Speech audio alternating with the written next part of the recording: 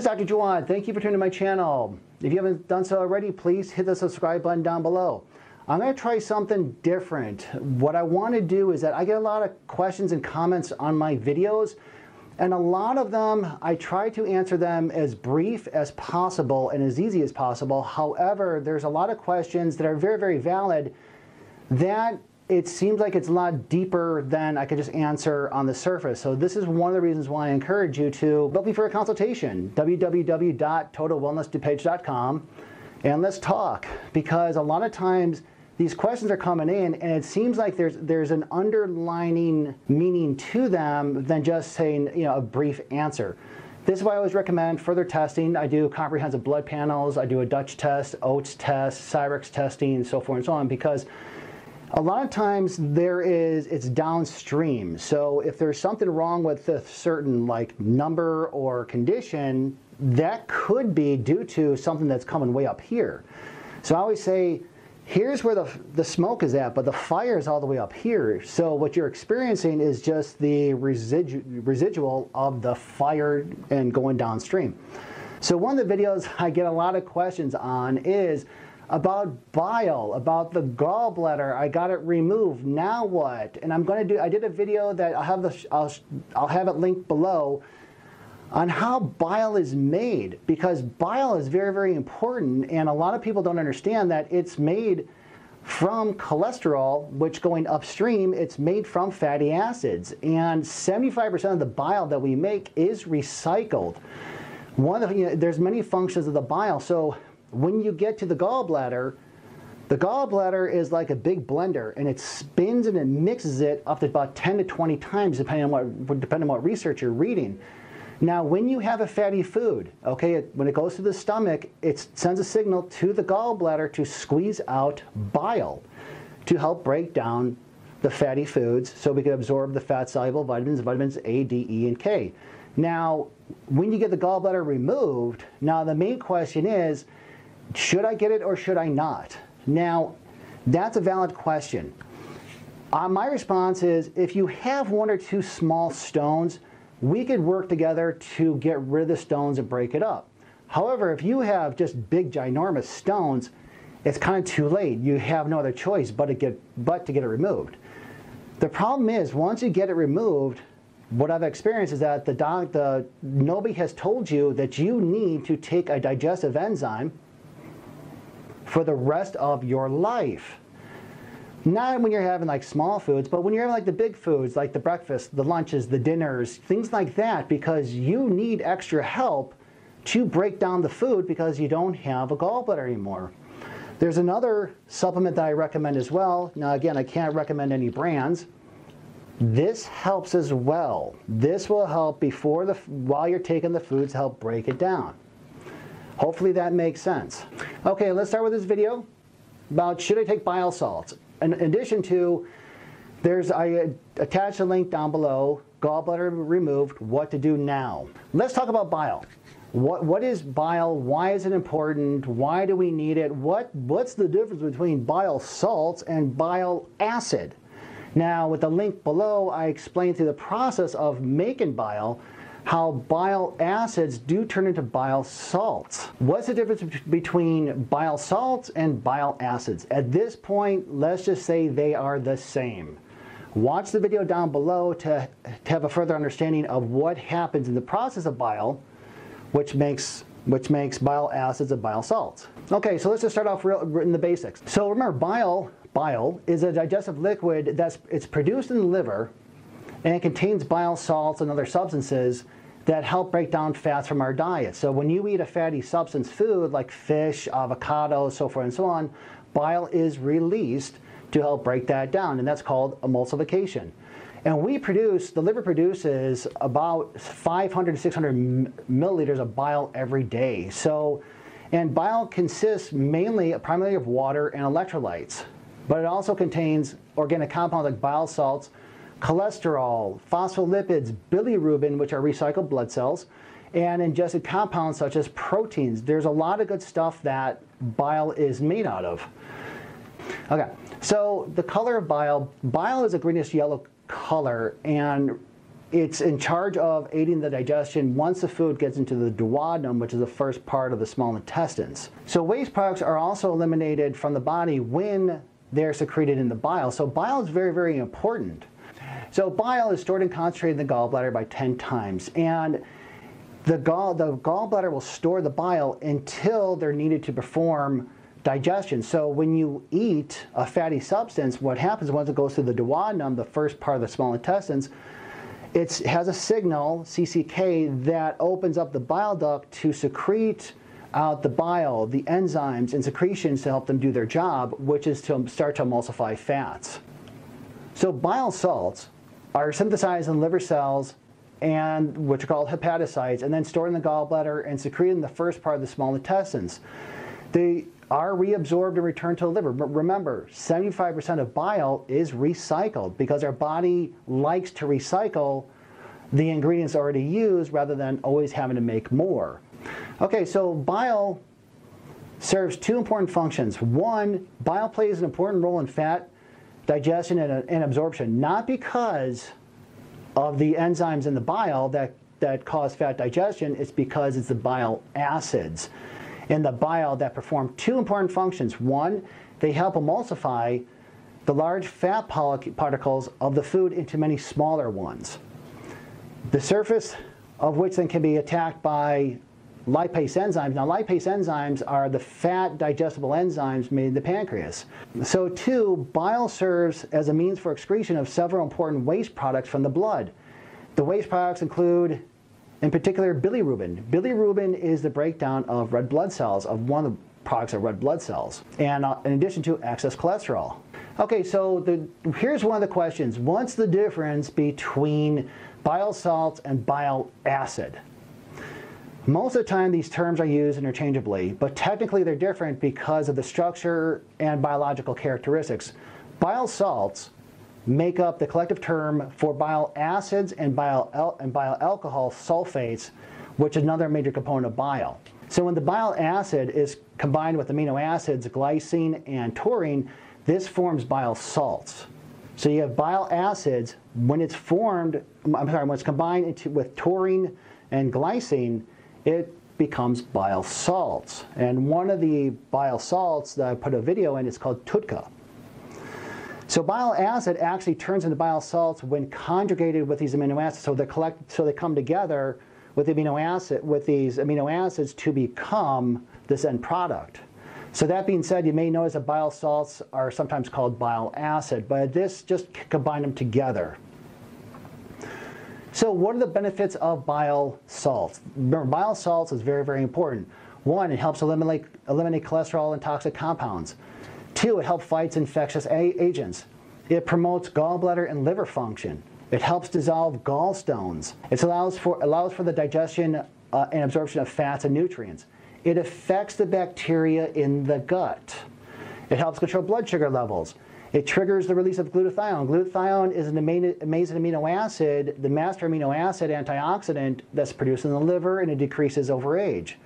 It helps eliminate bilirubin. So when it comes to the bile, bile salts, bile acids, it helps with the gut with the gut microbiome. So this is a very very important to have a healthy micro um, a gut micro microbiome in the small intestines because remember 75% of it is, re, is re, uh, recycled. Okay, so now what's the relationship between bile acids and cholesterol? Remember, everything starts with cholesterol. Cholesterol makes bile acids, bile salts. So if you are on a statin medication or cholesterol medication, yes, you are going to decrease the production of these bile acids and it's going to affect how you break down foods. So bile acids are made by your liver and friendly bacteria in your gut.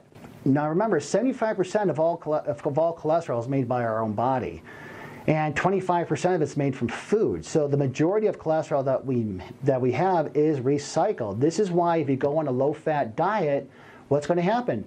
You're going to increase your cholesterol levels by going on a low-fat diet. If you have poor digestion, if you have non-alcoholic fatty liver, sure, your cholesterol numbers are going to go up. If you're stressed out, it's going to go up. So bile acids, bile acids, the primary pathway for cholesterol catabolism, which is the breakdown of cholesterol, it helps make Vitamin D, it helps with cellular membranes, it helps with hormones, and again, it helps even with bile. And statin drugs stop the production of cholesterol, which affect vitamin D levels, cellular membranes, hormones, and bile. So people are on statin medications, which are cholesterol medications, yes, you're going to have gut dysfunction, gut biosis. You're going to have non-alcoholic fatty liver stuff. Okay, so I'm not saying that you could get off to get off statins, but do the research on what you can do to overcome it because 50, 50% of our cholesterol turnover is controlled by the bile salts. And one of the benefits of bile salts, it helps lowers the low density lipoproteins of your, of your cholesterol numbers. If you have a bad gut, think about it, if you have a bad gut, sure, one of the reasons why those the bad cholesterol is going to be increased. So if you help your gut, sure, it's going to help the cholesterol numbers. So the question is, should I have my gallbladder removed? My answer is I don't know. I don't know. I can't answer that question. If you have big stones, sure, it's too late. Have it removed and make sure you use this supplement with every meal, with every big meal, you know, breakfast, lunch, dinner, to help aid in the digestion process. However, if you have small stones, now remember, what is a function of the gallbladder? To help squeeze out bile to break down fats. So let's go upstream. So if you have a low fat diet or if you have a high sugar diet, yeah, you're, you're going to you're going to create stones because what are those stones made out of? It's called cholesterol stones. So what's a function of the gallbladder? To help break down fatty acids. So if you're on a low fat diet, sure, you're going to gump up the gallbladder. Now, what are the symptoms of gallbladder stuff? Typically, right shoulder pain. Why? Because the phrenic nerve goes through the right shoulder, which helps innervate the gallbladder. Now, I always say if you have gallbladder, if you know if it's gallbladder stuff, then massage the gallbladder, preferably on your back with your knees up, massage it, and if the pain goes away, yeah, most likely it's your gallbladder. Other symptoms are gas, bloating, constipation, uh, diarrhea because it's irregularity, it's irregular function of the gallbladder. Now the question is, do you do you need your gallbladder? Yes, yes you do. I always say you're a thousand piece puzzle, and if you get rid of one of the pieces, the part in the brain that says, "Hey, where's my gallbladder?" This is where you have like what's called you know phantom limb syndrome when it comes to lost limbs, but you'll have post cholecystectomy syndrome meaning that the gallbladder should be there, but it's not, and these are the symptoms that occur after the gallbladder is removed. And it occurs about 40% of the time. I've seen a lot more than less. And this is gas, you know, gas, bloating, anal leakage, nauseous, constipation, diarrhea, headaches, depression, brain fog, all that stuff. Why? Because the gallbladder is removed. So what's going on is that, remember, the function of the gallbladder is to, is to store and concentrate bile for up to 10 to 20 times. And when you have a fatty substance, fatty food, it helps break that down. Breaks it down for the, to the fat soluble vitamins, vitamins A, D, E, and K. So if you have a, def- and fish oil and DHA, sorry. So if you have a deficiency of these vitamins, vitamin A, what's going to happen? Vision problems at night Vitamin D, what's going to happen? You're going to have bone pain. You're going to have calcium problems because one of the functions of uh, D is to act as anti-inflammatory. Vitamin E, you're going to have heart problems. It's also good for your pituitary gland and fertility. Vitamin K, vitamin K1 is for bleeding. You're going to start, you'll have bleeding uh, situations. You'll have easy bruising. Vitamin K2 is for calcium reabsorption in the bone. You're going to have calcium deposits. Fish oil is good for, you know, for your brain, for your memory. DHA, DHA which is part of the fish oil, e, EPA and DHA, you're going to have memory problems because DHA is good for your brain, it's good for your eyes. So the question is, what causes these stones? Now remember, what's happening is these stones are made of, of cholesterol. So you have too much concentration of cholesterol because you're not eating the fatty substance foods to help break it, to help make it work. So you're having too little bile salts. So the question, next question I get is, so what depletes bile salts? Well, birth control, cortisol, due to high insulin, liver damage, which the liver makes the bile. You're going to have low friendly the uh, colon bacteria because one of the functions of bile is to create this, this lovely microbiome.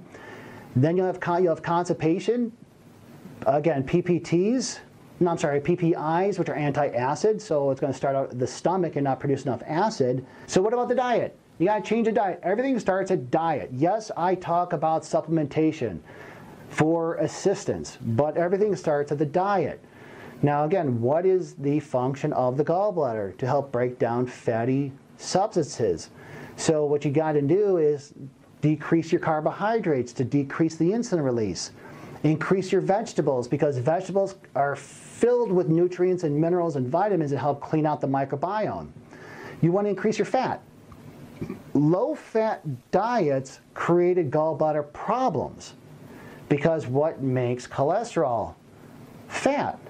What makes bile? Cholesterol.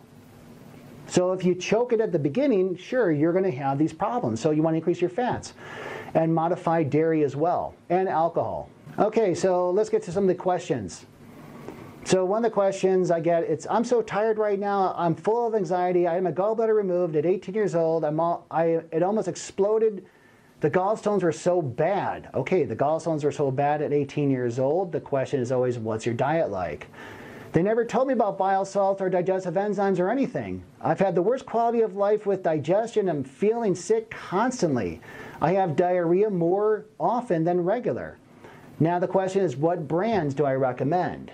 Remember, I cannot recommend a brand because of copyright laws. So what should I do? My first, first and foremost, always speak with your gastro, uh, gastro uh, doc first. Talk to your doctor first, your primary doc first. And if you want to, you can always find the link down below then if you want to run things about, you know, with a, with a um, consultation, not a problem. We could go next. I go next. Next question, okay. Hi doctor, I just recently removed my gallbladder last couple months ago, two months ago. Now my right shoulder blade is tightness after eating. Should I take bile salts? Yes, because what do you have? You have that, like that phantom limb pain. Right shoulder dysfunction may be due to the fact that you don't have a gallbladder and if you take the bile salt, it's worth a shot. Yes, your right shoulder pain could be your gallbladder. Why? Because when your gallbladder is inflamed and swollen, it irritates the phrenic nerve. The phrenic nerve stretches from the abdomen through the chest and into your neck. So each time you have a fatty meal, it aggravates the nerve and causes referred pain to your right shoulder blade. So yes, take the bile salts. Doc, I'm still confused here. I have an autoimmune disease, weight loss, and difficulty to digest protein. Should I take bile salts or TUDCA or NAC or betaine? Or should I take all of them? Yes, take all of them because why? Because you don't have a gallbladder. So yes, I've done videos on bile salts. TUDCA, main thing, TUDCA is phenomenal to clean up the liver pathway. NAC N-acetylcysteine, yes, because that helps with the liver issues. It's a, again, NAC N-acetylcysteine turns into glutathione, which is a master antioxidant of the liver. Or betaine, yes, betaine, betaine with food will help create more hydrochloric acid from the start. Now, the question is, when should I take betaine? Betaine is a substance that's made in the body. It's involved with liver function, cellular reproduction, and helping make carnitine acetyl L-carnitine. So it always, always take it either halfway through the meal or right at the end of the meal. Now, taking it before a meal may create a false experience of heartburn and turn off the stomach acid production for the meal. However, do not take betaine if you don't, if you don't have hydrochloric acid, and if you're taking any NSAIDs such as ibuprofen, Tylenol, or aspirin, do not take betaine. Can someone recommend a good brand of bile salts? I've been asking my health team about this and they are rude, laugh at me and tell me to stop going on the internet. This is very, very common. I'm so frustrated. I have a fatty liver and gallstones, so they want to focus on removing the gall, gallbladder, and now it's causing the issues of the low bile that's being created in the first place. This is very, very common. I've also had chronic constipation for years, so the fact that literally tell me None of this is connected to the gallbladder issue, and let's just take out the gallbladder and all the problems will be solved. I'm not that convinced. By removing my gallbladder, it impacts the bile even more. So how would that help my constipation when I need the, lubric the lubrication for the colon? They tell me nothing needs to be compensated for. I'm so annoyed. Yes, one of the reasons, again, the function of the gallbladder and the bile is to lubricate the colon. So if you take away that system, yeah, this is where you're going to have constipation, diarrhea, gas, bloating, uh, chronic issues. Again, cholesterol, because remember the functions of, of bile is to help lower the LDL cholesterol. And yes, you are going to have forever problems. Again, you're going to have to take this supplement for the rest of your life, which they're probably not going to tell you. So I don't know how big the gallstones are that you have. So if they're too big, I don't know what you could do about it. I wish it'd be easier to work out if bile salts are for me. Remember, there's only one way to try it, and that's to try it. So if the bile salts are having a negative impact on you, remember, bile salts will increase the lubrication of the colon. So if you do have some slight diarrhea, just pull back. Take them with the big meals. Hey doctor, I had right I had right shoulder pain, low libido, ED, bloating, constipation, fatty stools, stopped dairy, gluten, and vegetable oils, and ate only meat, fats, and some bile salts, and it went away after two years. Congratulations. I have diarrhea and some pain in the right shoulder, ED, low libido. Bile salts made it worse. Now, consuming simple rice and vegetable curry and eating less fat seems disastrous. What do you suggest? How do I eat fat? It sounds like you may have, let's work on, I'd recommend working on the gut biome. You may need to get some uh, probiotics, prebiotics or probiotics to work on the gut biome to make sure that is sufficient because remember the, the bile gets broken down through the small intestines and then gets picked up with the microbiome and then back over to get conjugate. Well, it, con, it gets conjugated in the small intestines. So if you have bad bacteria in your small intestines, then let's work on correcting the bad bacteria. You got to work on the diet. You have to make sure you have proper enough hydrochloric acid in your stomach. And in addition to, I would say, do N-acetylcysteine or glutathione to you know, clean up the liver pathway, drink a lot of water, and start slowly. I don't know how old you are, but again, if you have low libido and ED, then definitely, definitely that's all kind of combined with the, horm with the hormones, also to stress. Stress modification is a big issue, and also exercise. Exercise is huge. All right, so that's it. I hope you enjoyed this video. Again, I'm to try something new. I'm just to go over, I'm trying to capture one video and go over the questions in detail with those videos. So I hope you enjoyed it. Please leave a comment down below and take care. Be good.